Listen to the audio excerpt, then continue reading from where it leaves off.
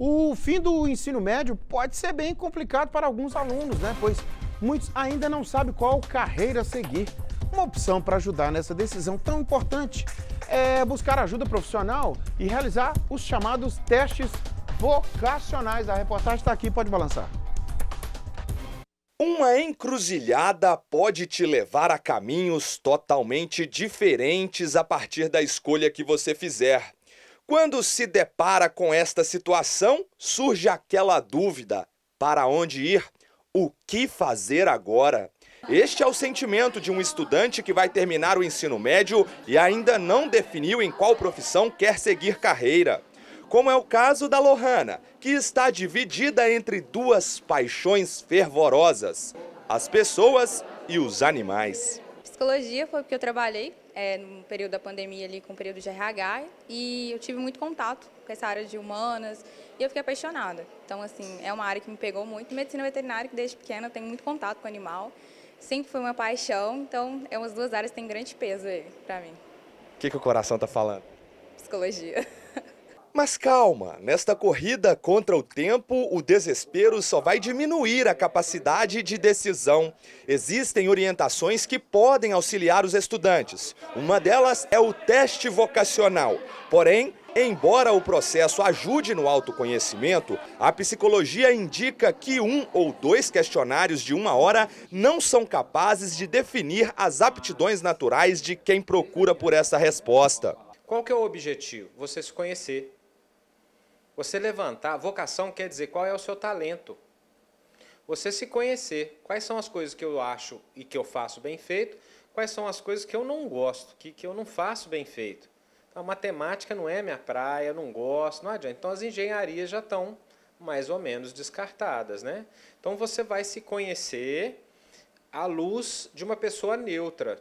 Porque muitas vezes, mesmo que seu pai, sua mãe, sua família não te pressionem diretamente, eu quero que você faça isso, eles já falaram valorizando o doutor fulano de tal, valorizando a profissão tal, você pega.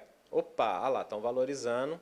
Você pega isso para você. E tem algumas famílias que pressionam mesmo. Não, eu quero que você faça isso, o que não se deve fazer. Né? É, o seu talento, se você for nele, se você se descobrir, você vai ser bem sucedido na sua profissão e, em consequência, também financeiramente. O que a gente vê há muito tempo acontecendo é as pessoas pensarem só no financeiro, irem buscar uma profissão pela questão financeira. Financeiro é consequência, é importante, mas se você estiver fazendo aquilo que você gosta, você vai ser reconhecido, você vai ter reconhecimento, inclusive financeiro. Exagero no uso da cafeína para ficar acordado e também longos períodos à frente da tela de um computador ou com um livro na mão com o objetivo de estudar. A ansiedade pela escolha da carreira e também a pressão para ser aprovado no vestibular faz com que o estudante cometa alguns excessos. Segundo os especialistas, isso não é bom e pode mais atrapalhar do que ajudar. Atividade física, de preferência aeróbica, uma corridinha, né? porque você produz endorfina, você extravasa ali, também é fundamental. Diminuir redes sociais, diminuir celular. Vamos para o contato mesmo, bater papo com os amigos, sabe? Contato com a natureza. Uma maneira de estudar legal é o seguinte: você lê, grifa o que você acha importante, copia o que você grifou, faz um resumo e depois você vai copiar o resumo. O ato de escrever copiando fixa muito mais. Tá? Já os, a matemática, a física, fazer e refazer, fazer e refazer os exercícios também por escrito, isso vai fixando cada vez mais. A cada hora e meia, duas horas de estudo, dá uma paradinha de 15 minutos, levanta, faz um alongamento, toma uma água, de preferência troca a matéria que você estava estudando. Porque o cérebro, depois de duas horas, ele dá uma travada. Então você não vai render. Essa coisa de varar a noite estudando não é legal. Meia-noite o nosso cérebro produz substâncias responsáveis pelo bom humor e pela concentração. Se você fica do, não dormindo meia-noite, você vai ficar menos concentrado e irritado.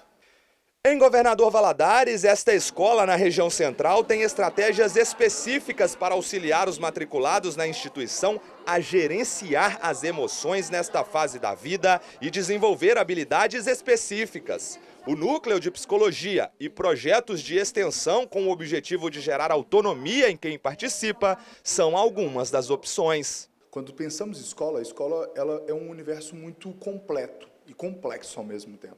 Então tem um setor de psicologia, mas o estudante precisa desenvolver habilidades, ele precisa desenvolver autonomia. Como que nós fazemos isso? Vamos dar a eles o protagonismo. Então, os projetos que nós desenvolvemos trabalham muito esse campo do protagonismo.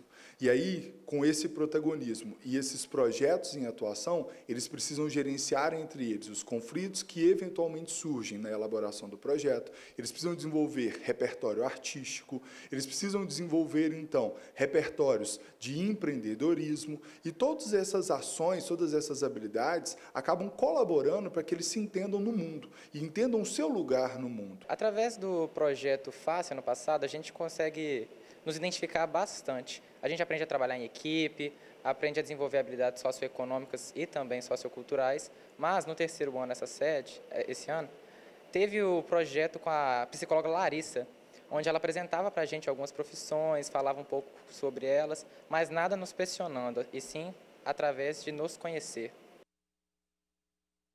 Importante escolher o quanto antes a profissão, né? E ser bem sucedido.